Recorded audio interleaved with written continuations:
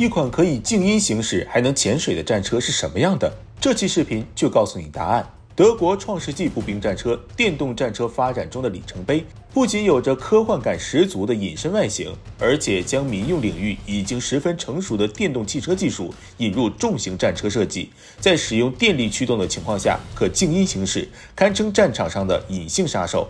创世纪战车由德国福伦堡汽车公司研发。由于竞标德国陆军新型轮式装甲车项目，在主战坦克研发和使用成本越来越高的情况下，步兵战车能够成为许多国家的选择。德国自然也不例外。先是推出了山猫步兵战车，然后又创世纪步兵战车，也就是这期视频的主角，在技术方面有了全面的提升。其在动力上采用了油电混合，虽然油电混合技术诞生比较早。但大多数都用在民用车上，在几十吨的步兵战车上并不常见。其中最有名的或许就是德国的象式以及费迪南重型坦克街机车。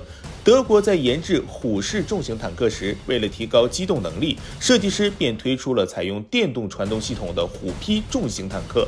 该战车装有两台保时捷幺零幺气冷汽油发动机，驱动发电机发电，然后为电动机提供动力。进而驱动履带的主动轮旋转，只是虎批重型坦克没有解决电动传动系统的可靠性问题。最终，德国还是采用传统机械传动系统的虎式坦克方案。不过，虎批坦克都已经生产出来了，总不能回炉重造。德军就将其投入战场，代号象式。之后，德国又推出了战斗权重一百八十八吨鼠式超重型坦克，采用的依旧是电传动系统。德国钟爱传动系统不是没有理由，采用电动传动装置可以灵活布置电动机的位置，坦克的布局较为合理。同时，电动传动系统的操作性也能明显强于当时的机械传动系统。比如，像是坦克的电传动装置具备三个前进档和三个倒档，可以轻松变速。理论上可以实现无级变速和无级转向。不过，由于技术限制，早期的电传动系统普遍存在功率小、直线行驶稳定性能差等。时间来到二十一世纪，技术的进步使得电传动装置效率达到了与机械传动系统相当的水平。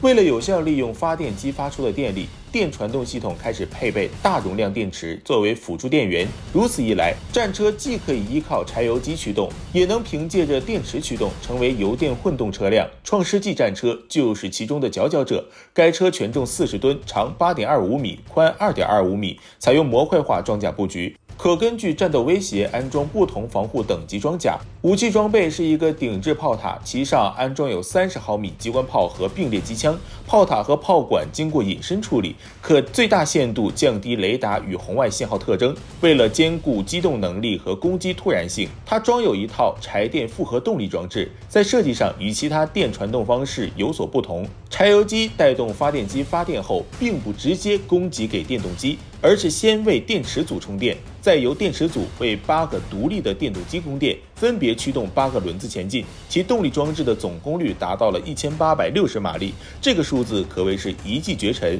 因为同时期的步兵战车引擎马力还处于三位数的阶段，其最大速度达到了一百公里每小时。使用柴电驱动时，能以六十公里每小时的速度行驶六百公里；使用电动机独立驱动时，能以四十公里每小时的速度静音行驶一百五十公里。这种动力系统的优势在于，电池组不仅是辅助动力电源，还能直直接驱动战车前进。采用电力驱动的战车行驶时声音很小，能有效降低被发现的概率。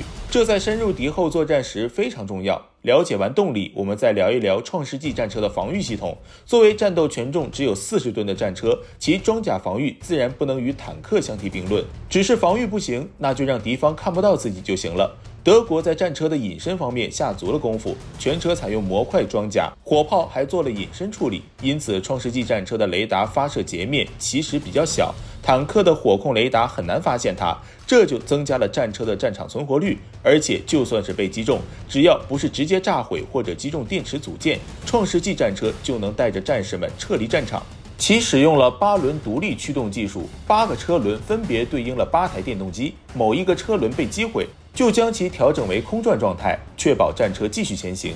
值得一提的是，创世纪战车不需要转向系统、变速箱或者分动箱，与履带式车辆一样。弯道内侧的车轮利用速度差进行转向，战车驱动系统的整个操作是有限的，与驾驶员座椅没有机械连接，不仅减轻了重量，还降低了维护成本。理论来说，创世纪战车还能潜水，因为内燃机不需要新鲜空气，并且当电池充满电时也不需要排放废气，机组人员的空气供应也能得到保证，这就使得创世纪战车能在水底行驶，或者抵达水底的无声潜水站。除此之外，创世纪步兵战车的电池组还能当做充电宝。在电子设备愈发普及的今天，士兵的电子设备、车用电子仪器设备如何供电，就成为了一个需要解决的问题。目前坦克中最常见的就是利用坦克发电机为车载用电设备充电。这种虽然可以使用，但是在一定程度上也影响了坦克的布局。而创世纪不需要，对它而言，只要在电池组上加点电线就可以完全搞定。无论是在布局还是在电力储备上，创世纪战车